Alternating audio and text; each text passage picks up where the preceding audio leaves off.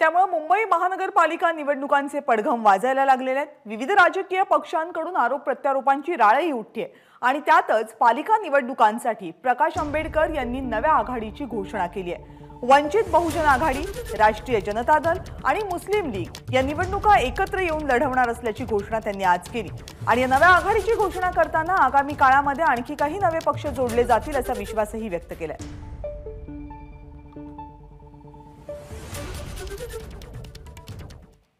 या आघाडीची घोषणा करत असताना आजच्या पत्रकार परिषदेमध्ये प्रकाश आंबेडकर यांनी नेमकं काय म्हटलं? बघूयात.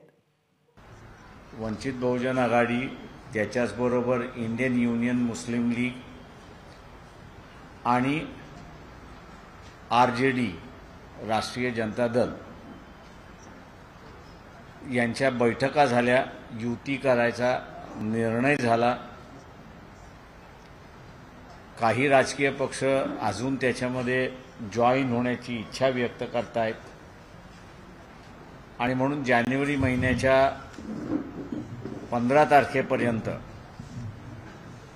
सीट शेअरिंग जे असेल ते सीट शेअरिंग या ठिकाणी जाहीर केल्या जाईल अशी असणारी परिस्थिती आहे. कोविडच्या नावाखाली असेल किंवा इतर कुठल्याही नावाखाली हे जे इलेक्शन पोस्टपोन करण्याचा भाग चाललेला आहे तो माझ्या दृष्टीने चुकीचा आहे असं मी त्या ठिकाणी मानतो.